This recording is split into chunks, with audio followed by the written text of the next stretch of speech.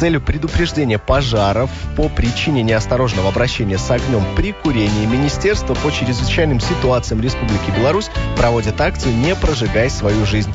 Поучаствовать в данной акции и получить призы от Минского городского управления МЧС можно прямо сейчас, ответив на вопросы, э, связанные так, с курением, собственно-то говоря. Но э, дело в том, что сейчас э, разыгрывается ценный подарок. Это косметичка. Ну, не обязательно она может быть женской, вот, но тем не менее. И спортивная бутылка для питья. Выиграть ее может прямо сейчас, ответив на достаточно э, несложный вопрос. Почему несложный? Потому что на этот вопрос э, даются варианты ответов, поэтому можно даже просто угадать. Итак, термин курения появился только в конце 17 века. До этого он упоминается как? И вот, собственно говоря, назовите.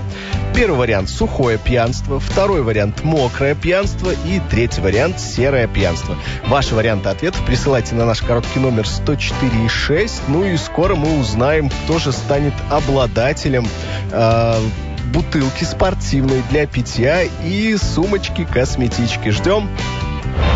BA. Здесь начинается радио.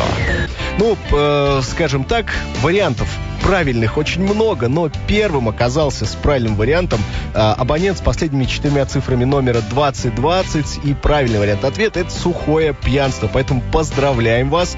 Э, косметичка и спортивная бутылочка ваша. Поэтому приходите, забирайте. И, ну, конечно же, пользуйтесь, не курите и занимайтесь спортом.